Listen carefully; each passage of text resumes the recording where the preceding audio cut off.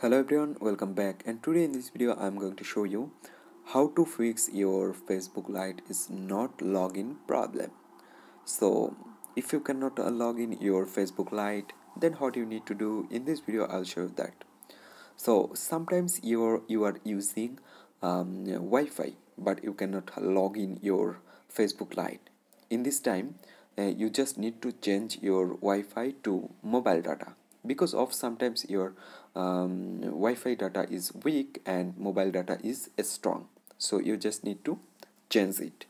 And after that your um, login problem is still doing then what you need to do? You just need to less back and open on your phone settings.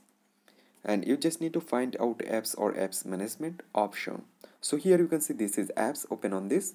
Go to manage apps and try to find out facebook lite. So here you can see open on this. Now click on the bottom right corner clear data option. Now clear case. And then ok after that you need to list back and open on your um, play store. So here you can see this is your play store open on this. And now go to search bar and type facebook lite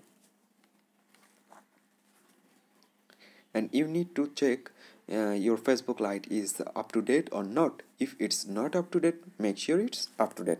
And after that restart your phone and connect a strong uh, mobile data and then try to uh, log in your uh, facebook lite.